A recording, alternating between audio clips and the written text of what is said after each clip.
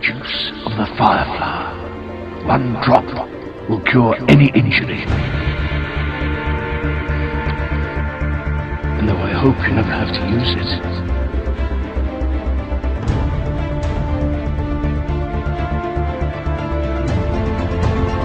trust in this bow,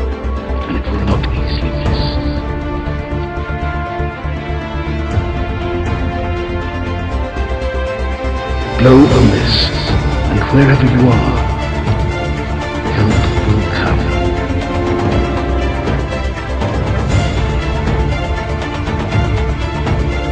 Time to use these. Be the near at hand.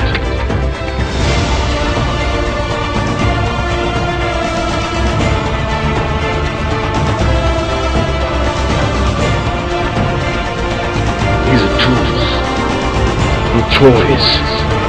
Bear them well.